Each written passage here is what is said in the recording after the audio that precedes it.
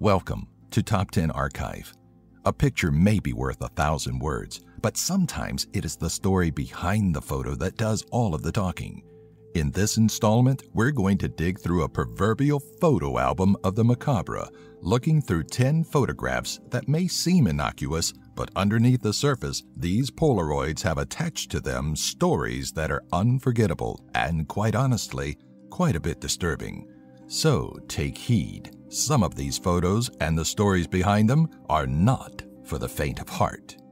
Number 10. Tyler Hadley's Killer Party. When 17 year old Tyler Hadley of Port St. Lucie, Florida, invited upwards of 60 people to his home for a massive party, everything seemed innocent enough. The party went off without a hitch. Everybody had a great time, and Hadley even snapped a great selfie to share across the internet. What looks to be an innocent snapshot with a friend is really a look at a cold blooded killer.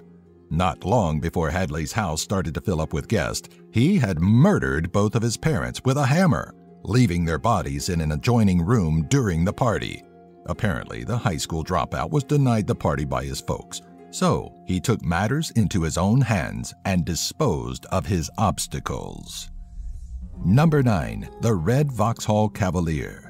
This adorable photo taken on August 15, 1998, shows a father and son getting the most out of their day in Omagh, Ireland. After the photo was taken, though, they quickly stopped being the focus of it. The seemingly unimportant red car at the right edge of the photo was outfitted with a car bomb that exploded moments after the photo was snapped. The explosion, as a result of the real IRA's opposition to the Good Friday Agreement, was large enough to kill 29 and injured over 300 people. If any good can be found in this troubling picture, it's that the father and son actually survived the blast. Number 8. Travis Alexander's Last Shower. Travis Alexander was a salesman out of Mesa, Arizona, who lived a pretty decent life with his seven siblings. Working as a salesman for prepaid legal services, Alexander was at a Las Vegas conference in 2006 when he met Jodi Ann Arias. The two hit it off and, in February of 2007, entered into a relationship that would last four months. Oh, but when the romance ended, Arias may have taken things a little harder than Travis did. In 2008, a year after the affair ended, Arias returned to Travis's house for what was believed to have been an innocent encounter. While Travis showered, Arias snapped this photo. There is no indication in Travis's expression that he expected to be brutally murdered by Arias immediately after. Number 7. Reynaldo Dagsa's family photo. Captured in this would-be innocent photo is the tragic tale of Philippine counselor Reynaldo Dagsa. Though Daxa's wife, daughter, and mother-in-law are in the foreground of the family shot, it's tough not to notice the capped character in the background pointing something directly at the counselor. Seconds after the photo was taken, the mysterious character, later identified as Michael Gonzalez, assassinated Dagsa, the item he was pointing having been a loaded weapon. The shooter, who was quickly picked up thanks to the picture in question, had recently been jailed for car theft due to Dagsa's efforts. Number 6. Chris McCandless. Wanting to escape the overbearing nature of the world, adventurer Chris McCandless took to the Alaskan wilderness in April of 1992. He traveled light, bringing with him little food and equipment to make his journey as simplistic as possible. A journal of Chris's adventure was found covering 113 days of living in an abandoned bus and living off of Alaskan land. This self-taken photo shows a rather gaunt Chris smiling and waving to the camera. Sadly, this is the last photo that Chris ever took and was likely snapped not long before he died of starvation. Many speculate that the photo was Chris's way of saying goodbye as he knew he would eventually succumb to starvation. Number 5. John Lennon meets his assassin. The death of John Lennon struck the world hard, which makes a photo like this even more difficult to see. What looks like an innocent snapshot of the star signing his autograph for a fan is really a shot of Lennon meeting his soon to be assassin, Mark David Chapman. Several hours after this photo was taken, as Lennon returned from a day in a recording studio, Chapman opened fire on the musician, striking him in the back and shoulder with a 38. Though Chapman had been a Beatles fan, after becoming a born again Christian, his tune changed.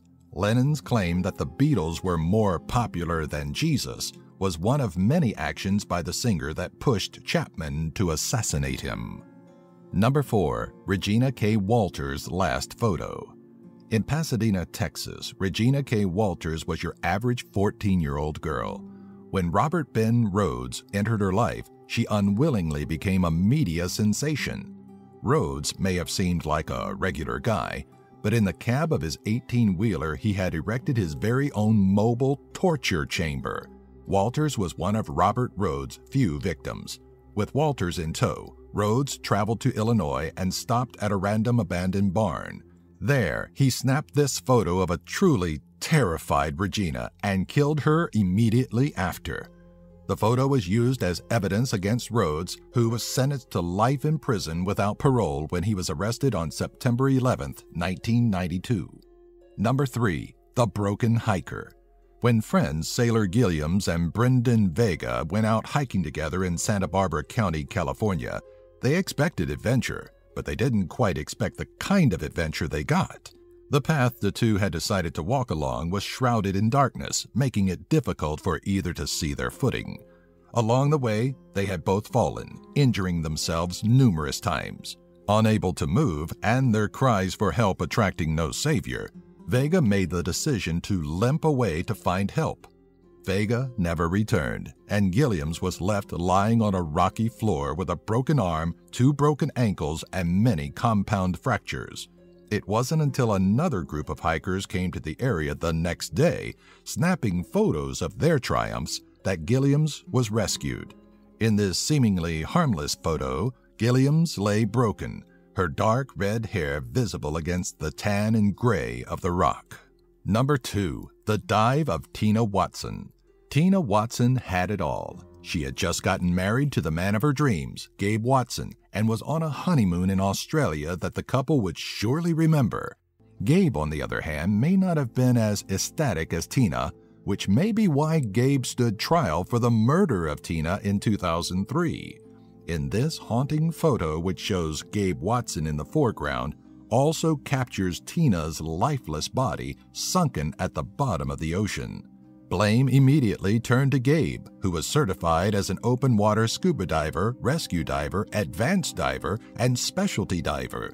The charges were eventually dismissed in Alabama, though he did serve a term of manslaughter in Australia. Number 1. James Bulger's Murderer Little James Bulger was about to turn three years old when he was kidnapped, tortured, and murdered by two 10 year olds, Robert Thompson and Jon Venables. A snapshot of CCTV footage from the mall Bulger and his mother were at show the start of the sinister story as it captures Bulger holding hands with either Thompson or Venables as they lead him out of the mall.